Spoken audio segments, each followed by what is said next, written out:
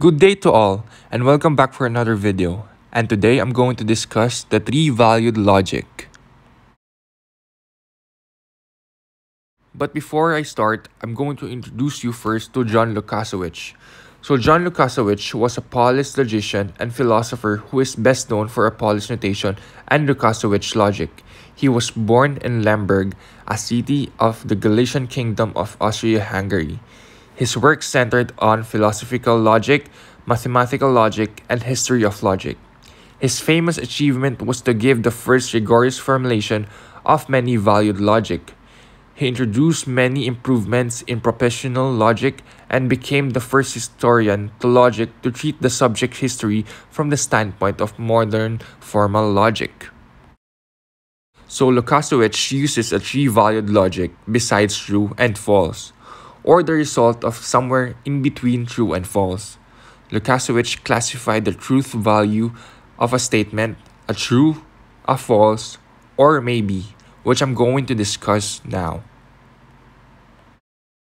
So what I have right now is an example of a truth table. It shows the truth values for negation, conjunction, and disjunction in this three-valued logic. The first we have right now is a table of negation. On the left side, we can see P and null Q, so it could be true or false depending on the situation. On the right side, which is Q, would be the outcome of my P. So as you can see, that below P is true and false. And now that I have those, I can fill the rest. Because if my P is true, it will negate that the next one is false. And my statement is false, so the negating Q is true. The next thing we have is conjunction. As you can see, we have three outputs, which is P, Q, and the third column would be P and Q. Now we have four rows because we have a whole bunch of possibilities.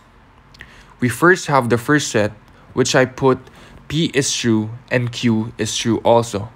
The second is P is true and the second would be Q is the false. Next is P is going to be false and Q is going to be true.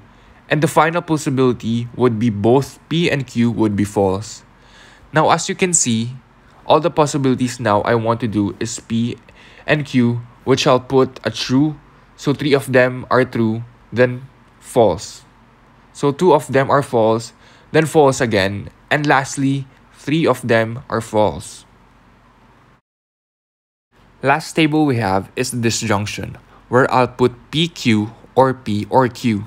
And on this table, it's pretty much the same as the conjunction. Same possibilities, which is true, true, true, then false, false, true, false, and false. And the first line, as we can see, both of them are true. So the third, of course, it's true. In the second scenario, one of them is true and the other one is false. But if the statement is one thing or another, then one of them is true. Third is false and true. So one of them is true, so true. Lastly, if false is false, which is likely to be true, then the answer would be false.